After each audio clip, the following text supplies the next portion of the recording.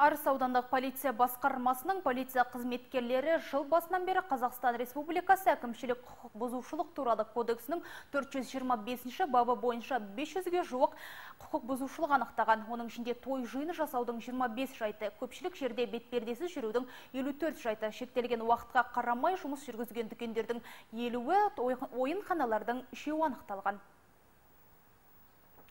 Мәселен, Арыс қаласында орналасқан тойханалардың бірінде 150-ге жоқ қонақ шақырып, қыз ұзату тойын жасап жатқан тұрғын анықталды. Орын алған заң бұзушылыққа қатысты тойхана иесі мен той егесіне карантин талабын сақтамау бойынша іс құжаттар жинақталып, заңды шара қолдану үшін тиісті орынға жолданды. Ал қонақтарға түсіндіру жұмыстары жүргізіліп, той тоқтатылып, тарқатылды. Сондай-ақ полицейлер тойханалар мен мейрамхана кафе барларды тексеріп, нысан иелерімен кездесіп, той жиын өткізбеу және азаматтардың жиналуына жол бермеу керектігін түсіндіріп, карантин талаптары бұзылған жағдайда заңды шара көрілетіні туралы ескертті.